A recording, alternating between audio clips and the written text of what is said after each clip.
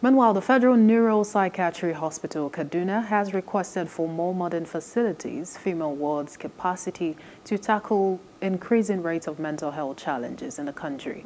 The management said it is difficult to cope with high numbers of female patients admitted at the hospital following the fire incidents that recently gutted the female ward.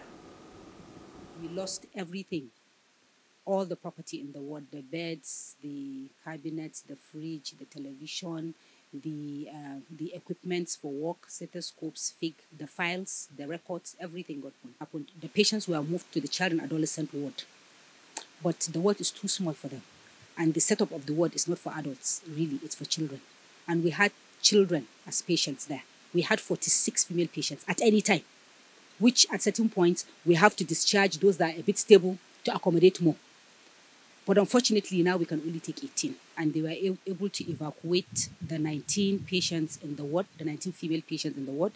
The staff on duty, the nurses, the attendants, and the security were all saved. Also, the head of clinical nurses said the hospital is passing through trying times as they can only accommodate 18 patients for now.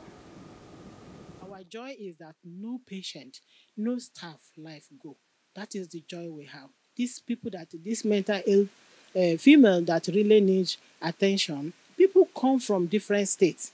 And now you it's a pity that some of them will come. There's no space for them to to be admitted when doctors see them. You know, for them to be on bed, there's no space. That place is too small.